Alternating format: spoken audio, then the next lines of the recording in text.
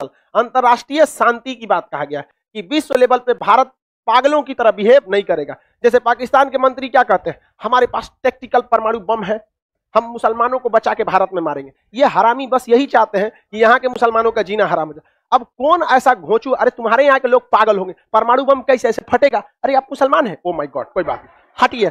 हाँ फाड़ दो सला ये हरामी कैसे क्या बात बोलता है? नहीं समझ में आया। मारते हैं यहाँ पे तीन तमाचा यहाँ। और यहाँ के लोगों की भी गलती है। यहाँ के जो लीडर हैं, जमा मस्जिद को उनको विरोध करना चाहिए। आप हमारी चिंता मत कीजिए। मरेंगे तो साथ में मरेंगे, क्योंकि जिए हैं तो ये हिंदू मुस्लिम के साथ। मरेंगे भी तो साथ जाएँगे। गजब बात करता है। बात देखो, उसकी औकात की बात नहीं, लेकिन उसकी मेंटेलिटी देखो, कहाँ दूर तक सोचता है। यहाँ के लोगों का जीना हराम करता है। तू मुसलमान को बचा के परमाणु बम मारेगा। और ये तो छोड़ो। वो आरामी पढ़ा भी नहीं रहता है। कहता है टेक्टिकल परमाणु बम मारेंगे। टेक्टिकल उसे कहा जाता है जो ज़्यादा दूर तक नहीं जा सके।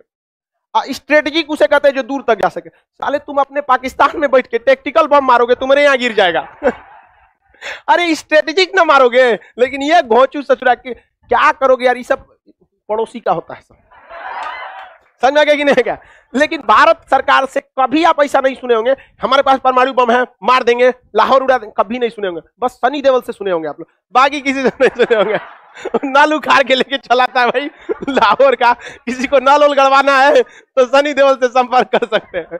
तो भारत ने कभी भी इस तरह का वाहियात अंतर्राष्ट्रीय मंच पर कभी नहीं बोला है। और हमने ठोक के दिखाया है खतर में। बोले नहीं है। तो अंतर्राष्ट्रीय शांति की बात करना है। दूसरा, भारत जब भी कोई भी अंतर्राष्ट्रीय विवाद होगा तो एक मेडिएटर को रखेगा। किसे? मेडिएटर को रखेगा।